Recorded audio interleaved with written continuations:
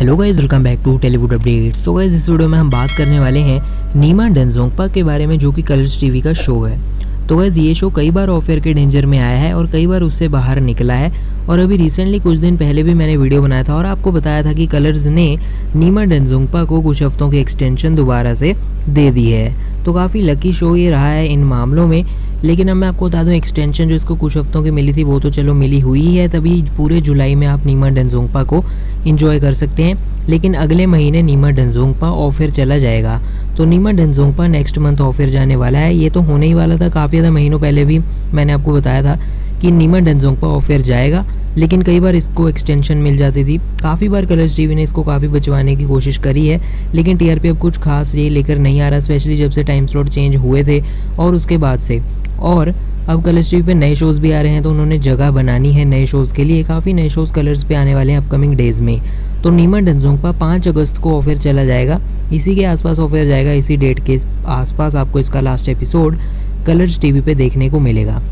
Makers ने अभी के लिए शूट रैप नहीं किया है।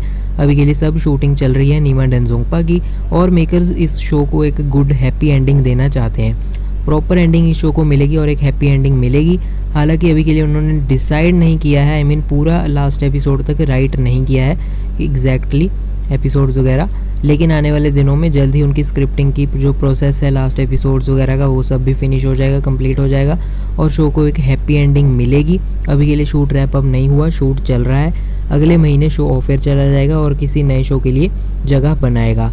पिशाचिनी हो सकता है, नीमा डंजोंगपा उस नए शो के लिए जगह बनाए। वैसे कलर्स का ये अकेला शो नहीं है जो ऑफ़र जा रहा है।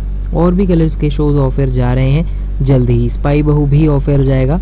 तो कलर्स पे मल्टीपल नए शोज़ आ रहे हैं तो पुराने शोज़ तो बंद होंगे ही। जिनकी वजह से नए शोज़ के लिए जगह बनेगी तो कमेंट्स में अपनी राय ज़रूर बताइएगा। नीमा डनजोंगपा को मिस करेंगे या नहीं? वीडियो को लाइक कर दीजिए शेयर कर दीजिए नीमा के फैंस के साथ। कलर्स टीवी की सारी लेटेस्ट न्यूज़ के लिए हमारे चैनल को कर लीजिए सब्सक्राइब और उसके साथ में जो बेलेकन है, यानी कि घंटे का ऑप्शन है, उसे दबाकर ऑल पे क्लिक कर लीजिए, ताकि आप कोई भी अपडेट मिस ना करें। फ़िलहाल के वीडियो में इतना ही। हम मिलते हैं नेक्स्ट वीडियो में। अभी के लिए चलता हूँ गुड बाय